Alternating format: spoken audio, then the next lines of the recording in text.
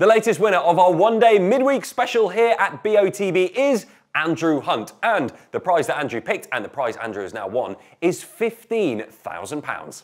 Hello, Andrew. How are you? I'm doing okay. Good stuff. Uh, what does Friday have in store for you? What are you up to at the moment? Well, to be honest, I had a bit of a lie until a phone call. There's nothing wrong with that. When I text you, I, I, hadn't obviously received a reply for about an hour, so I thought I'll phone him. He might be in bed having a nice bit of a line on a Friday. Yeah, I, I kind of run unemployed at the minute, so. Oh, okay, fair enough, fair enough. Well, Andrew, you answered the question online about filling in the rest of the uh, well known phrase in The Terminator, which is, I'll be. Back. It is, I'll be back. I'm pleased to say you were also randomly selected from all the correct entries. Andrew, you've just won £15,000. Oh, wow. oh, wow, indeed. That's made my Christmas. yes, what, we're only, what, uh, eight days into uh, December, but uh, yeah, Christmas has come early for you. I was hoping for the Skoda, but who cares? Obviously, we are a few days away from Christmas. You've got this amazing amount of money about to land in your bank account. What do you think you're going to spend it on?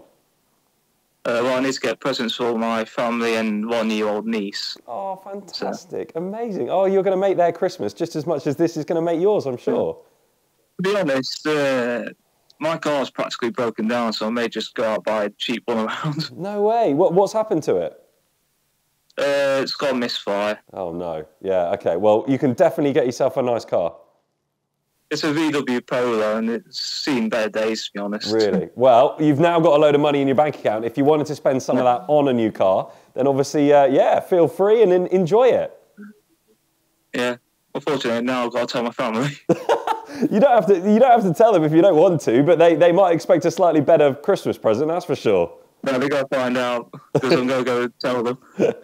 well, Andrew, have a fantastic rest of your day. Have an amazing Christmas. We will bank transfer that £15,000 to you probably within the next 24 hours. So enjoy it when it gets there. Okay, thanks. No worries. Cheers, Andrew. Bye. Bye.